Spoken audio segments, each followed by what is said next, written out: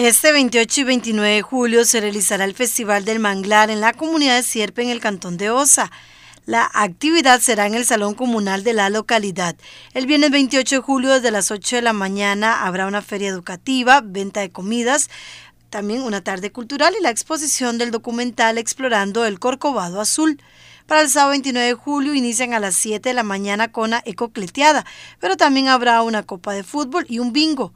Cabe indicar que en Osa se ubica el Humedal Nacional Terra Basierpe, que comprende el bosque de manglar más extenso de Costa Rica, con un área mayor a las 16.000 hectáreas, las cuales debido a su gran importancia biológica fueron declaradas de importancia internacional por la Convención Internacional de Humedales Ramsar.